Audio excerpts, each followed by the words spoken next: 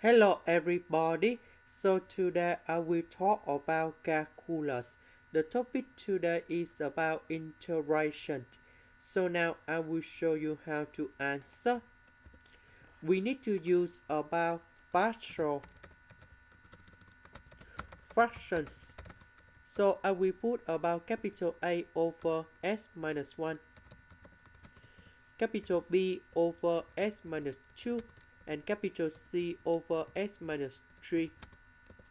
Now we do common denominator. So about capital A, they are missing about s minus 2, s minus 3. So they need to multiply by s minus 2, s minus 3. About B, they missing about s minus 1 and s minus 3. So we put about s minus 1, s minus 3. Similar for C.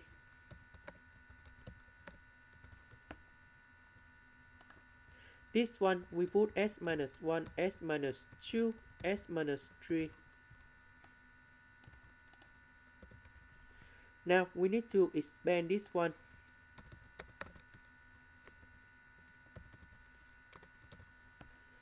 Similar for this one.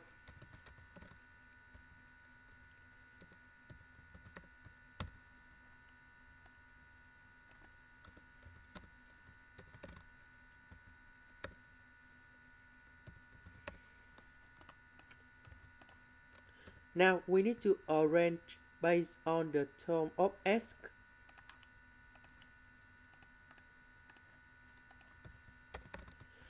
So we have s squared, so we have a plus b plus c. a plus b plus c, sorry.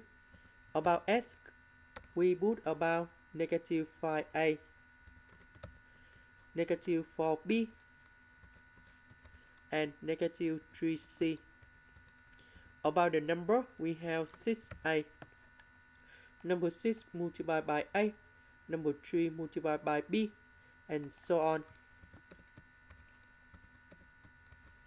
And now I will put this one go in here. If we look carefully about coefficient, we just have only number 1.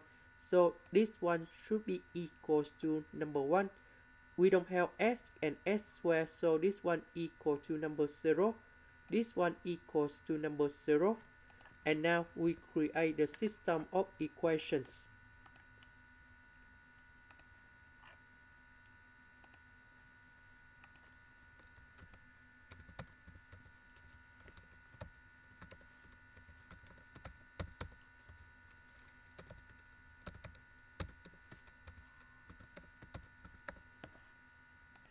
So we have A equals to 1 over 2, B equals to negative number 1, and C equals to 1 over 2. And now we put the value A, B, C go in here.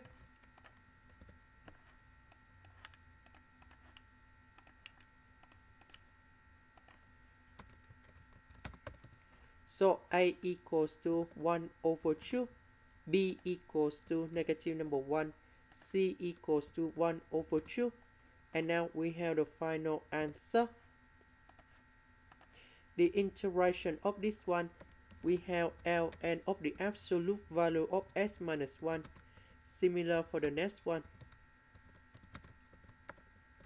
Because this is about negative number 1, so this is about negative number 1 in here number 1 multiplied by this one we can write like this. And now we have the last one. And we put about c that's about the constant. This is the end. Thank you for watching